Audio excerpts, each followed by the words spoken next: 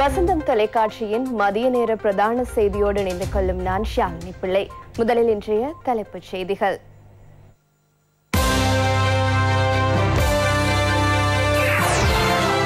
மாணவர்களின் தேவைக்கமைய ஆசிரியர்களுக்கு இடமாற்றம். இளைஞர்கள் மத்தியில் எச்ஐவி தொற்று அதிகரிப்பு. எக்ஸ்பிரஸ் போல் கப்பல் தொடர்பில் பாராளுமன்றத்தில் விவாதம். விவசாய அமைச்சின் மேலதிக அதிகாரிகளை வேறு நிறுவனங்களில் சேவைக்கு அமர்த்த கோரிக்கை. இலங்கையின் வளிமண்டலத்தில் அதிகரிக்கும் தூசு துகள்கள். ஆஸ்திரேலிய முன்னாள் பிரதமர் மொரிசனுக்கு எதிராக கண்டனம். ஆசிரியர்களுக்கு இடமாற்றம் வழங்கப்பட மாட்டாது என கல்வி அமைச்சர் சுசில் பிரேமஜெயன் தெரிவித்துள்ளார். மாணவர்களின் தேவையை கேந்திரமாக கொண்டு ஆசிரியர்கள் சேவைக்கு அமர்த்தப்படுவார்கள் என அவர் குறிப்பிட்டுள்ளார்.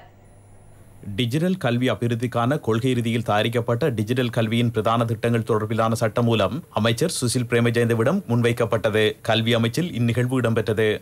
ராஜ்யசேவைக்கு இங்கே மாறுவின் பிரிவந்த அரச ஊழியர்களின் இடமாற்றம் தொடர்பில் பேசுகையில் இது ஆசிரியர்களுக்கும் பொருந்துமா என எதிர்க்கட்சி தலைவர் கேள்வி எழுப்புகின்றார். ஆசிரியர்களை இடமாற்றம் செய்ய மாட்டோம் என்பதை நீங்கள் புரிந்து கொள்ளுங்கள். ஆசிரியர்களை சேவைக்கு அமர்த்தும் செயற்பாடே மேற்கொள்ளப்படுகின்றது. ஆசிரியர்களை இடமாற்றம் செய்ய ஆரம்பித்தால் அதனால் மாணவர்கள் பாதிக்கப்படுவார். நாம் தொழில்நுட்பத்தை உரிய முறையில் பயன்படுத்தாமையினாலே நிர்வாக ரீதியான பிரச்சனைகள் எழுந்துள்ளன. கல்வி மறுசீரமைப்பை படிப்படியாக மேற்கொள்கின்றோம். டிஜிட்டல் மயப்படுத்தும் செயற்பாடும் இதனுடன் இணைந்ததாக இருக்க வேண்டும். ஆசிரியர்களை இடமாற்றம் செய்ய முயற்சித்த போது பிரச்சனைகள் எழுந்தன. தாய் ஒரு பாடசாலையில் ஆசிரியராக கடமையாற்றினால் தனது மகனையும் அதே பாடசாலையில் சேர்க்க முயற்சிக்கின்றார் இதனால் பிரச்சனைகளே ஏற்படும் එක්කෙනෙක් හදන යාගේ කෙන දාගන්න අනිත් එක්කෙන හදන යාගේ දාගන්න. අම්ම උගන්නනවා නම් ආනන්ද විද්‍යාලයේ පුතා ඉන්නව නම් තව කොහේ හරි පුතාව ආනන්දට ගේන්න ඕනේ. නැත්තම් පුතා රාජකීය විද්‍යාලේ ඉන්නව නම් අම්ම වෙන තැනක නම් අම්ම රාජකීය විද්‍යාලයට යන්න ඕනේ. මං කෝ දැන් ඕගොල්ලන්ගේ ওই ටික කරගත්තාම හරිද? ඒක තමයි අධ්‍යාපනය. கடந்த வருடத்துடன் ஒப்பிடுகையில் இவ்வருடம் எச்ஐவி தொற்றாளர்களின் எண்ணிக்கை அதிகரித்துள்ளதாக விசேட வைத்திய நிபுணர் ஜானக வேரகுட தெரிவித்துள்ளார். தொற்றுக்குள்ளானவர்களில் அதிகமானோர் இளைஞர்கள் என அவர் சுட்டிக்காட்டியுள்ளார். දැනට ලංකාව පුරා ලිංගාස්ත රෝග සායන හතලිස් දෙක. நாடு முழுவதிலும் தற்போது நாற்பத்தி இரண்டு பாலியல் நோய் சிகிச்சை நிலையங்கள் காணப்படுகின்றன இதற்கு மேலதிகமாக பாலியல் நோய் தொடர்பான சிகிச்சைகளுக்கென முப்பது மத்திய நிலையங்கள் காணப்படுவதுடன் அவற்றினூடாக எச்ஐவி தொற்றாளர்களுக்கு சிகிச்சை வழங்கப்படுகிறது இலவசமாகவும் ரகசியங்கள் பேணப்பட்டு சிகிச்சை வழங்கப்படுகின்றது இதனால் குறித்த சிகிச்சைகளை பெற்றுக்கொள்வதற்கு அச்சப்பட தேவையில்லை பாதுகாப்பற்ற பாலியல் உறவுகள் காரணமாகவே எச்ஐவி தொற்று அதிகரிக்கின்றது தாய்க்கு எச்ஐவி தொற்று இருக்குமாயின் பிள்ளையும் தொற்றுக்குள்ளாக வாய்ப்புள்ளது. அத்துடன் எச்ஐவி தொற்றுள்ள ஒருவரின் ரத்தத்தை வேறொருவருக்கு வழங்குவதனூடாகவும் தொற்று பரவலாம். குறித்த மூன்று முறைகளையும் தடுத்து வேறு எந்த வகையிலும் எச்ஐவி தொற்று ஏற்படாது. எச்ஐவி தொற்றுக்கான சிகிச்சைகள் வெற்றிகரமாக இடம்பெறுகின்றன. ஒருவர் உரிய முறையில் சிகிச்சைகளை பெறுவாராயின் அவருக்கு சாதாரண வாழ்க்கையை வாழ முடியும். சுற்றுலா விசா வழங்கும் போது சுற்றுலா பயணிகளுக்கு எச்ஐவி தொற்று பரிசோதனை மேற்கொள்வதில்லை. இது உலகின் எந்த நாட்டிலும் நடைமுறையில் இல்லை. எனினும் குடியிருப்பு விசா வழங்கும் போது இலங்கையில் எச்ஐவி பரிசோதனை மேற்கொள்ளப்படுகின்றது. இதில் ஒரு ஒருவருக்கு தொற்று இருக்குமாயின் அவருக்கு தேவையான சிகிச்சைகளை வழங்க நாம் முன்வருவோம்.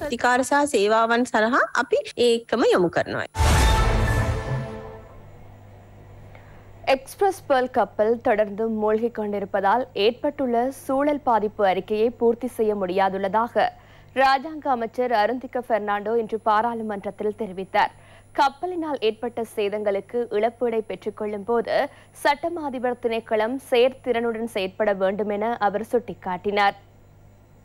தீவிர பிரஜாசனா எக்ஸ்பிரஸ் பேர்ல் கப்பலினால் பாதிக்கப்பட்ட மீனவர்களுக்கு இதுவரை மூன்று கட்டத்தின் கீழ் இழப்பீடு வழங்கப்பட்டுள்ளது. குறித்த இழப்பீட்டுத் தொகை மதிப்பிடப்பட்ட முழு இழப்பீட்டுத் தொகையின் ஒரு பகுதி என குறிப்பிடப்பட்டுள்ளது. மூன்று மாவட்டங்களைச் சேர்ந்த மீனவர்களுக்கு மாவட்ட செயலாளர்கள் ஊடாக இழப்பீட்டுத் தொகை வழங்கப்பட்டது. முன்னூற்றி நாற்பத்தி எட்டு மில்லியன் ரூபாய் முன்னூற்றி முப்பத்தைந்து மில்லியன் ரூபாய் முன்னூற்றி எண்பத்தோரு மில்லியன் ரூபாய் என மூன்று கட்டங்களாக இழப்பீடு வழங்கப்பட்டுள்ளது. கம்பகா கொழும்பு களுத்துறை மாவட்ட மீனவர்களுக்கே இழப்பீடு வழங்கப்பட்டது. இழப்பீட்டை வழங்குவதற்காக உரிய கப்பல் நிறுவனத்திடமிருந்து எமக்கு வழங்க வேண்டிய இழப்பீட்டை டொலர்களில் செலுத்துமாறு கூறியிருந்தோம். எனினும் இழப்பீட்டை ரூபாய்களில் பெறுவதற்கு சட்டம் அதிபர் திணைக்களம் இணக்கம் வெளியிட்டிருந்தது. முழு மீனவ சமூகத்துக்கும் கிடைக்க வேண்டிய இழப்பீட்டுத் தொகை தொடர்பில் சட்டம் அதிபர் திணைக்களத்தினால் குறிப்பிடப்படவில்லை. ஆரம்பத்தில் ஏழு பில்லியன் டாலர்களை இழப்பீடாக வழங்குவதற்கு பேசப்பட்டது. எனினும் குறித்த தொகை மூன்று பில்லியன் டாலர்களாக குறைவடைந்துள்ளது. இது தொடர்பில் வழக்கு தாக்கல் செய்ய வேண்டும். இது தொடர்பில் சட்டம் அதிபர் திணைக்களத்திற்கு ஆலோசனை வழங்க வெளிநாட்டு நிறுவனம் ஒன்றை தெரிவு செய்து குறித்த நிறுவனத்துக்கும் பல மில்லியன் டாலர்களை செலுத்துகின்றனர். මේ මේ සම්බන්ධයෙන් නීතිපති දෙපාර්තමේන්තුවට උපදෙස් ලබාදීම සඳහා ඔස්ට්‍රේලියානු සමාගමක් තෝරගෙන ඒකට ඒකටත් මිලියන ගානක් ගෙවනවා. வரவு செலவு திட்டம் மீதான குளிர்நிலை விவாதத்தில் கலந்து கொண்ட மக்கள் பிரதிநிதிகள் பலரும் கருத்து வெளியிட்டனர் ரெண்டாயிரத்தி ஒன்பதாம் ஆண்டு அந்த யுத்தத்திற்கு அந்த யுத்தம் முடிவுக்கு கொண்டு வரப்பட்டது. அந்த யுத்தம் முடிவுக்கு கொண்டு வரப்பட்டு பேச்சுவார்த்தைகளுக்கு ஊடாக தமிழ் மக்கள் எதிர்கொள்ளுகின்ற பிரச்சனைகளுக்கு தீர்வு காணலாம் என்ற ஒரு நிலை ஒன்று உருவாக்கப்பட்டது. ஆனால் தூரவஸ்தவசமாக தமிழ் மக்களை பிரதிநிதித்துவப்படுத்துபவர்கள் என்று சொல்லிக் கொண்டுகின்றவர்கள் அதை பயன்படுத்தாமல் தங்களுடைய சுயலாப அரசியலுக்காண்டி அதை பயன்படுத்துவதால் நான் தமிழ் மக்கள் தரப்பை மாத்திரம் சொல்லவில்லை. சிங்கள மக்கள் சிறப்பிலும் இனவாதிகள் இருக்கின்றார்கள். அவர் தமிழ் மக்கள் மத்தியிலும் இருக்கக்கூடிய இனவாதிகள் சிங்கள மக்கள் மத்தியிலும் இருக்கக்கூடிய இனவாதிகள் இந்த பிரச்சனையை ஒரு தீரா பிரச்சனையாக வச்சிருப்பதற்கான முயற்சியில் ஈடுபட்டு கொண்டிருக்கிறார்கள். அதனுடைய நாட்டு மக்கள் விழிப்படைந்து இந்த பிரச்சனையை தீர்ப்பதற்கு முன்வர வேண்டும் இந்த யுத்தத்தில் இறந்தவர்களை ஞாபகப்படுத்துவது அல்ல அவர்களுக்கு அஞ்சலி செலுத்துவது அவருடைய உறவினர்கள் நண்பர்கள் யாரும் அதை செய்யலாம். அதில் எந்த விதமான பிரச்சனைகளுமோ எந்த விதமான தடைகளும் இல்லை. அதை ஒரு சுயலாப அரசியலுக்கு பயன்படுத்தி கொள்வதுதான் அது ஒரு பிரச்சனையாக பார்க்கப்படுகின்றது. குறிப்பாக சுகாதாரம் இந்த நாட்டில் கல்வி போன்று இலவசமாக நாங்கள் வழங்கி கொண்டிருக்கிறோம் நீண்ட காலமாக. இந்த சூழ்நிலையில் நாடு ஒரு வங்குரோத்தடைந்த நிலையிலே சுகாதார அமைச்சை மக்களுக்கு பாதகமில்லாமல் இழுத்துச் செல்வது என்பது மிக முக்கியமான அம்சம். அந்த வகையில் நான் கீழியரம்புகல்ல கௌரவ அமைச்சர் அவர்களை வாழ்த்துகிறேன் பாராட்டுகிறேன். நீங்கள் நீண்ட காலம் இதனை முறையாக செய்து கொள்ள வேண்டும் என்று ஆனால் இங்கு எல்லோரும் வருத்தம் ஏற்பட்ட பிறகு மருந்துகளை பற்றி யோசிக்கிறார்கள். ஒரே ஒரு விடயத்தை நான் உங்களுக்கு ஆலோசனையாக சொல்லலாம் என்று நினைக்கின்றேன். நமது நாட்டில் நிறைந்த வளம் இருக்கிறது உணவு இருக்கிறது. நமது நாட்டில் உள்ள முறையான சுத்தமான உணவுகளை தவிர்த்து அதற்கு பதிலாக வெளிநாடுகளிலிருந்து கொண்டு வருகின்ற உணவுகளில் எவ்வளவு உண்மைத்தன்மையும் அதனுடைய பாதுகாப்பும் இருக்கிறது என்பதிலே சந்தேகம் எழுந்திருக்கிறது. பால் பக்கெட்டுகளை பொறுத்தவரையில் அவையிலே பால் இல்லை என்றும் அவை வெறுமனே வேறு விதமான கலவைகள் என்றும் கூறப்படுகிறது. எண்ணெய்களை எடுத்துக்கொண்டாலும் கூட இவ்வாறான சூழ்நிலையில் நான் நேரத்தை கவனத்திலே கொள்கிறேன். மக்களுக்கு சுத்தமான உணவை பாதுகாத்து கொடுப்பதும் இந்த அமைச்சினுடைய மிக முக்கியமான அம்சம் மாத்திரமல்ல. வெளிநாடுகளில் நாம் இறக்குமதி செய்கின்ற இந்த பொருட்களில் நாம் கவனம் செலுத்த வேண்டும் என்று மிக இறுக்கமாக இந்த இடத்திலே உங்களை நான் வினயமாக கேட்டுக்கொள்கின்றேன். விவசாய அமைச்சின் மேலதிக அலுவலக அதிகாரிகளை வேறு நிறுவனங்களில் சேவையில் இணைக்குமாறு அமைச்சர் மஹிந்த அமரவீர உள்நாட்டு அலுவலக அமைச்சின் செயலாளருக்கு அறிவித்துள்ளார். செலவை முகாமைத்துவப்படுத்துவது தொடர்பிலான அரச கொள்கையை அடிப்படையாக கொண்டு விவசாய அமைச்சில் உள்ள மேலதிக அலுவலக அதிகாரிகள் அனைவரையும் உடனடியாக வேறு நிறுவனங்களில் சேவைக்கு அமர்த்துமாறு அமைச்சர் மஹிந்த அமரவீர கோரிக்கை விடுத்துள்ளார். இதற்கமைய நீண்ட காலமாக விவசாய அமைச்சில் கடமையாற்றும் மேலதிக செயலாளர் உள்ளிட்ட பல பிரிவுகளைச் சேர்ந்த அதிகாரிகள் வேறு நிறுவனங்களில் சேவைக்கு அமர்த்தப்பட உள்ளனர். ஒரே அமைச்சில் மூன்று அபிவிருத்தி பிரிவுகளும் மூன்று நிர்வாக பிரிவுகளும் மூன்று நிதி பிரிவுகளும் மூன்று போக்குவரத்து பிரிவுகளும் காணப்படும் நிலையில் அதிகளவான ஊழியர்கள் கடமைகளில் இருந்த போதிலும் அவர்களுக்கான சேவைகள் குறைவாக காணப்படுவதாக விவசாய அமைச்சு சுட்டிக்காட்டியுள்ளது அரச செலவுகளை முகாமைத்துவப்படுத்தும் அரச கொள்கையை நடைமுறைப்படுத்துவதில் சிக்கல் எழுந்துள்ளதாக தெரிவித்த அமைச்சர் மஹிந்த அமரவீர மேற்குறிப்பிட்ட நடவடிக்கை எடுப்பது கட்டாயம் என தெரிவித்துள்ளார் பாதுகாப்பு அமைச்சுக்கு நிதி ஒதுக்கப்பட்டமை ஆர்ப்பாட்டங்களை தடுப்பதற்கல்லவென ராஜாங்க அமைச்சர் பிரமித்த பண்டார தென்னகோன் தெரிவித்துள்ளார் නීති ආධිපත්‍යය ජාතික ආරක්ෂාව නැති කිසිම රටක් දියුණු වෙන්නේ නෑ.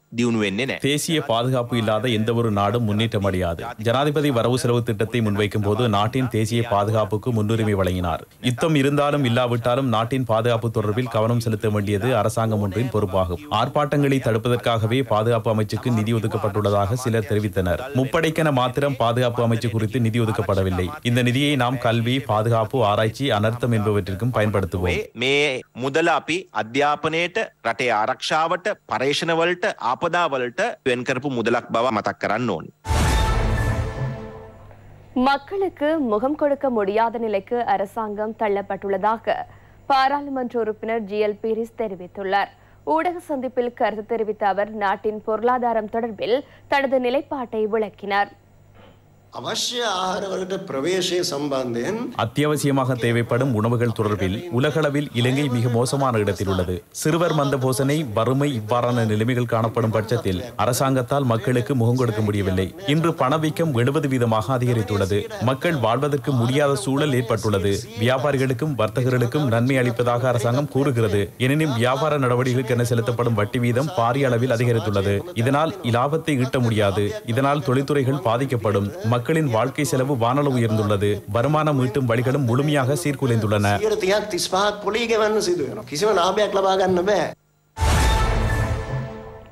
நலன்புரி பிரதிலாபங்களை பெறுவதற்கு சரியான தகவல்களை மாத்திரம் வழங்குமாறு ராஜாங்க அமைச்சர் செஹான் சேமசிங்க கோரிக்கை விடுத்துள்ளார். நலன்புரி பிரதிலாபங்களை வழங்கும் துரித வேலைத்திட்டத்திற்கென பதிவுகள் மேற்கொள்ளப்படுகின்றன. நூறு வீதம் சரியான தகவல்களை பெற்றுக் கொடுப்பது பயனாளிகளின் பொறுப்பென ராஜாங்க அமைச்சர் செஹான் சேமசிங்க தெரிவித்துள்ளார். போலி தகவல்களை வழங்குவது சட்டத்திற்கு புறம்பான செயற்பாடு எனவும் அவர் குறிப்பிட்டுள்ளார். பிரதிலாபங்களை பெறும் நோக்கில் இதுவரை முப்பத்தி ஏழு லட்சம் குடும்பங்கள் தமது தகவல்களை வழங்கியுள்ளன. கிடைக்கப்பெற்ற தகவல்களை உறுதி செய்யும் செயற்பாடு எதிர்வரும் நாட்களில் ஆரம்பிக்கப்படும். இதில் ஈடுபடவுள்ள அதிகாரிகளுக்கு பயிற்சிகளை வழங்கும் செயற்பாடு தற்போது முன்னெடுக்கப்படுவதுடன் அடுத்த வருடத்திலும் குறித்த நலம்புரி வேலை திட்டம் நடைமுறைப்படுத்தப்படும். இதற்கென என நூற்றி எண்பத்தேழு பில்லியன் ரூபாய் ஒதுக்கப்பட்டுள்ளது. எதிர்வரும் இரு நாட்களுக்குள் நாட்டின் மீனவர்கள் மற்றும் விவசாயிகளுக்கு தட்டுப்பாடின்றி எரிபொருளை வழங்குவதற்கு தேவையான வேலைத்திட்டம் நடைமுறைப்படுத்தப்பட்டுள்ளதாக ஜனாதிபதியின் சமூக விவகார பணிப்பாளர் நாயகம் கீர்த்தி தென்னகோன் தெரிவித்துள்ளார். ஊடக சந்திப்பில் கலந்து கொண்ட போதே அவர் இதனை குறிப்பிட்டுள்ளார். தீவிர சகா குஷி கார்மிக மீனவர்கள் மற்றும் விவசாயிகளுக்கு மண்ணெண்ணெயை பெற்றுக் கொடுப்பதில் கடந்த காலத்தில் நெருக்கடி நிலவியது. கடந்த இருபத்தி நான்காம் தேதியிலிருந்து விவசாயம் மற்றும் கடற்றொழில் நடவடிக்கைகளை முன்னெடுக்கும் பிரதேசங்களுக்கு தேவையான எரிபொருள் விநியோகத்தை மேற்கொண்டுள்ளோம். கடந்த ஐந்து நாட்களில் சுமார் நாற்பத்தொன்பது பவுசர்களில் மண்ணெண்ணெய் மற்றும் டீசல் வழங்கப்பட்டுள்ளது. இன்று முதல் அமலுக்கு வரும் வகையில் நாட்டின் விவசாய பணிகள் இடம்பெறும் பகுதிகளுக்கு தேவையான மண்ணெண்ணெய் விநியோகத்தை மாவட்ட செயலாளர்கள் மற்றும் பிரதேச செயலாளர்களாக முன்னெடுத்துள்ளோம். இன்றைய தினம் எண்பத்தேழு பவுசர்களில் விரைவில் எரிபொருளை பெற்றுக் கொடுக்க திட்டமிட்டுள்ளோம். எதிர்வரும் இரண்டு நாட்களில் நாட்டின் அனைத்து பகுதிகளுக்கும் விவசாய மற்றும் மீன்பிடி நடவடிக்கைக்கு தேவையான எரிபொருளை தட்டுப்பாடின்றி வழங்க முடியும் என நாம் நினைக்கின்றோம்.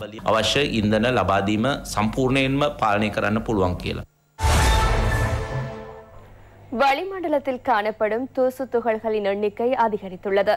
நாட்டின் பல மாவட்டங்களில் இந்த நிலைமை காணப்படுவதாக தெரிய வந்துள்ளது நாட்டின் வளிமண்டலத்தில் காணப்படும் தூசு துகள்கள் குறிப்பிட்ட அளவை விடவும் அதிகரித்துள்ளதாக தேசிய கட்டிட ஆராய்ச்சி நிலையம் தெரிவித்துள்ளது. கொழும்பு கண்டி புத்தளம் மற்றும் யாழ்ப்பாணம் ஆகிய நகரங்களில் இந்நிலைமை அதிகரித்துள்ளதாக குறிப்பிடப்பட்டுள்ளது. இந்தியாவில் வழி மாசடைவு கடந்த காலங்களில் அதிகரித்துள்ளது. நவம்பர் மாதத்திலிருந்து மே மாதம் வரையிலான காலப்பகுதியில் நிலைமை மேலும் மோசமடையும் என சூழலியலாளர்கள் சுட்டிக்காட்டியுள்ளனர். அரச அலுவலக தரப்படுத்தல் அதிகாரிகளின் சீருடை தொடர்பில் ஆயிரத்தி தொள்ளாயிரத்து எண்பத்தி ஒன்பதாம் ஆண்டு பிப்ரவரி முதலாம் திகதி வெளியிடப்பட்ட அரசு நிர்வாக சுற்றுநிருபம் தொடர்ந்தும் நடைமுறையில் உள்ளதாக உள்நாட்டு அலுவல்கள் அமைச்சு தெரிவித்துள்ளது.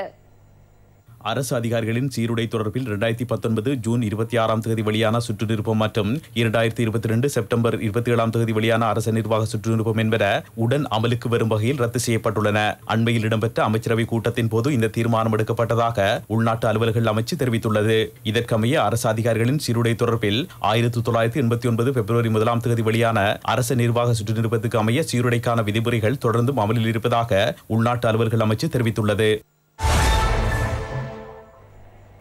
சிறுவர்களை இலக்கு வைத்து போதை மாத்திரைகளை விற்பனை செய்த இருவர் பாணந்துறை பகுதியில் கைது செய்யப்பட்டுள்ளனர்.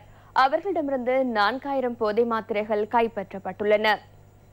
பாணந்துறை தனியார் பாடசாலை ஒன்றுக்கு முன்பாக வர்த்தக நிலையம் ஒன்றில் வெளிநாட்டில் தயாரிக்கப்பட்ட போதை மாத்திரைகளை கொண்ட அறுபத்தைந்து போத்தல்கள் போலீசாரினால் கைப்பற்றப்பட்டுள்ளன. போதைப் பொருளுடன் கலக்கப்பட்டுள்ள டொஃபை வகைகளும் மீட்கப்பட்டதாக போலீசார் தெரிவித்துள்ளனர்.